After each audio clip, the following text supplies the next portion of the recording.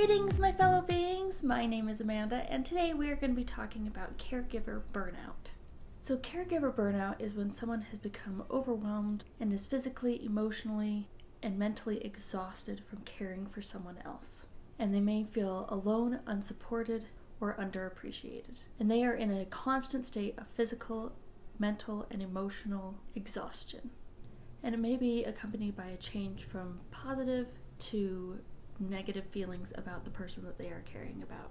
Burnout can occur anytime someone does not get the care or doesn't get the help that they need, or if they're doing more than they can possibly do by themselves.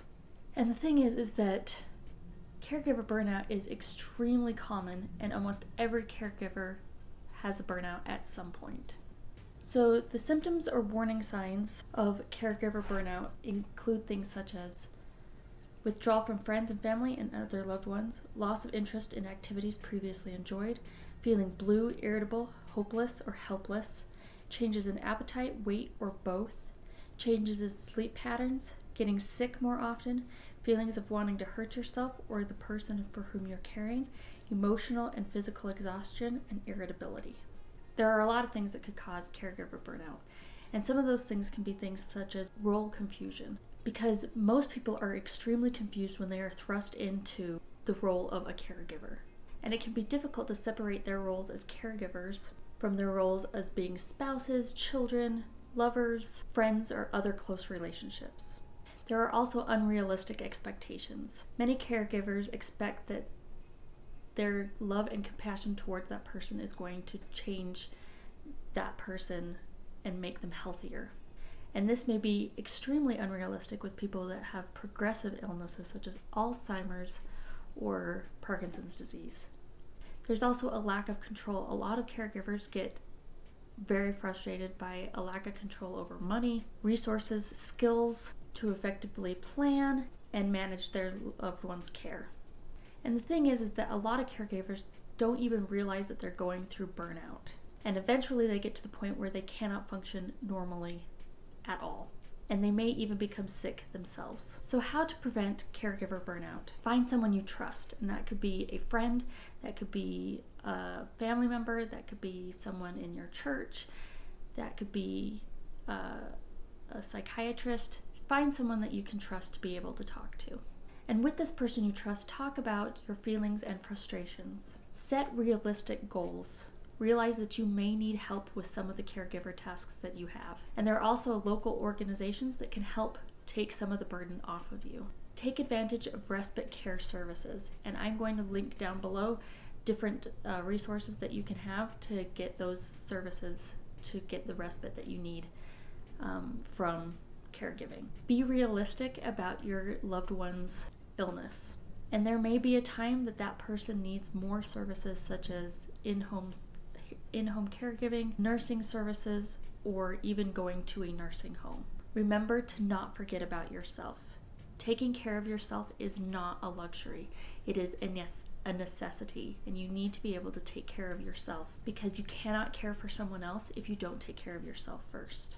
Know your limits and be truthful to yourself about your limitations, and realize that it is possible for you to get caregiver burnout make sure to educate yourself. The more you know about the illness, the more resources that you have in order to care for that person.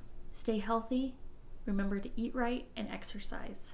Those are two very important things while caring for someone. And make sure to join a caregiver support group. It is really important for you to have others that can help you in this situation. So the question is is how can you recover from caregiver burnout if you're already experiencing it? So make sure that you ask others for help. It is important for you to be able to rely on someone else for caregiving necessities. Get support, join a support group, find different ways to get support. That could be through family, friends, that could be a support group, that could be a therapist, but get support from others. Remember to take regular breaks. It is important for you to remember that you need to take care of yourself because you cannot take care of another person if you do not take care of yourself first. Pay attention to your feelings and needs. It is really easy to forget about your own needs and not take care of yourself. Make sure that you have a good sleep schedule. if you get enough rest, then that can also help you with caregiver burnout as well. And also consider respite care. This is a form of service where someone can take care of your loved one for you for a little bit of time, and that could be for a couple of hours, that could be for a couple of days, where someone else takes care of your loved one so that you can get the rest and relaxation that you need to be able to recover. And there are other resources out there, and I'm going to link all of them in the description box below for you to find those resources. But other support things that you can find are things such as home health services, adult daycare, nursing homes or assisted living facilities, private care aides, caregiver support services, agency, agency of aging, and national organ, organizations. So, those are all kinds of agencies that can help you with taking care of your loved one. Caregiver burnout is a real thing that really does affect almost everyone that is a caregiver at some point during their time as a caregiver. So please have compassion for them. Remember that they are also important, that they need to have the compassion and care that they deserve for caring for another person. If you are going through caregiver burnout, my heart truly goes out to you, and I know that it is hard. But know that you are important and you deserve to have rest and to get the support that you need. This was just a quick video on caregiver burnout, and I just wanted you guys to know that it is a real thing and that it does happen. If you learned something new or you enjoyed this video, make sure that you click that subscribe button and make sure you click that like button if you did enjoy this video. Remember to be kind, kindness is free, so give it out to everyone, and I'll see you next time. Bye. Hi. I'm in the middle of recording right now. You have to at least say hi to everybody.